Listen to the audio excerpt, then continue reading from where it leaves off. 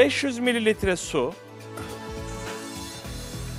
yaklaşık 90-100 gram arası şeker, isterseniz bal da kullanabilirsiniz. Elma sirkesi koyacağız. Üzüm sirkesi de kullanabilirsiniz. Yaklaşık 50 mililitre elma sirkesi. Tarçın atacağız. Kakule atacağız. Kakuleleri biraz ezelim. Yağ çıksın diye. Şöyle bir kıtırdasın. Tohumları ortaya çıksın. Kakuleyi çok seviyorum. Çok da lezzet veriyor bu sosa. Altını açıyorum. Bir taşım kaynatıyorum. Amacım burada hepsinin şekerin erimesi, tarçının, kakulenin aromasını içine vermesi. Şimdi bu kaynayınca altını kısacağım. Gelelim bulgurlarımıza. İnce bulgurumuzu alalım.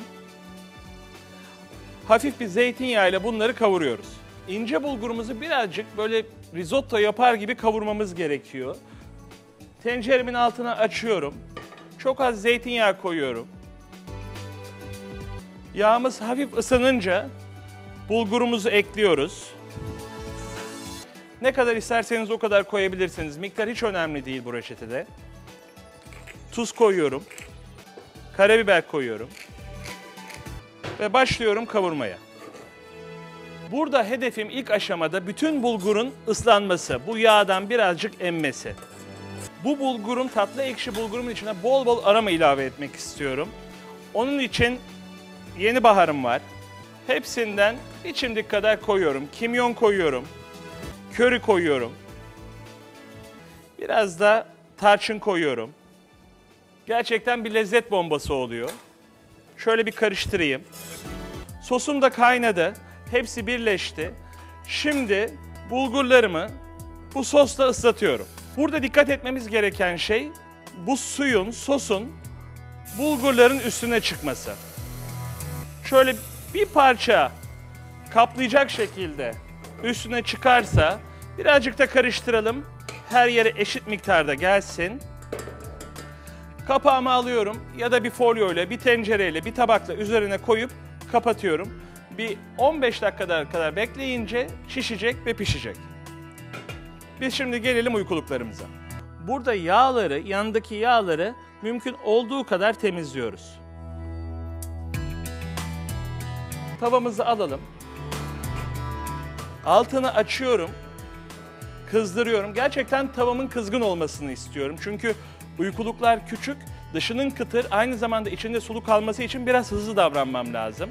Şimdi uykulukları pişirirken ben üzerine bir parça köri atıyorum, bir parça da tuz atıyorum. Gerçekten köri çok yakışıyor.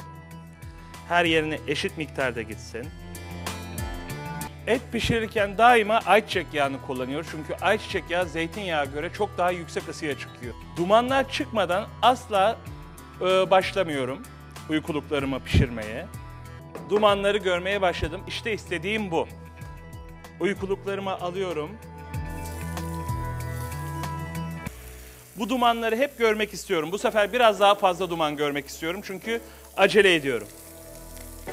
Şöyle yağını atalım. Her tarafını pişirelim. Şunları bir kenarda toplayalım. Küçük parçaları birazcık daha önce alıyorum. Bir iki tane büyük parçam var. Onları bekletiyorum ki işleri iyice pişsin. En son parçamı da alıyorum. Bununla işim bitti. Bir 15 dakika kadar oldu. Bulgurlarım da şişmişti. Kapağını açalım. Bir çatal yardımıyla tırmıklar gibi hafifçe açıyorum, havalandırıyorum. Birbirinden ayırıyorum işin doğrusu. Bu aşamada bir parça da isterseniz tereyağı atabilirsiniz. Daha sağlıklı yemek istiyorsanız atmayın, daha lezzetli yemek istiyorsanız atabilirsiniz. Sadece son aşamada bu sütlücüye biraz sizi öykülendirmek için, götürmek için bir parça da üzerine kekik atmak istiyorum. Çünkü özellikle sütlücede kuru kekikle yapıyorlar. İçine en azından biz de o kuru kekik tadını uykuluğumuzun içine koyalım. Yapraklarından. Sapını koymamaya dikkat ediyoruz. İyice bu kekikleri de karıştıralım. Uykuluğumuz hazır, bulgurumuz hazır. Sıra geldi tabaklamaya.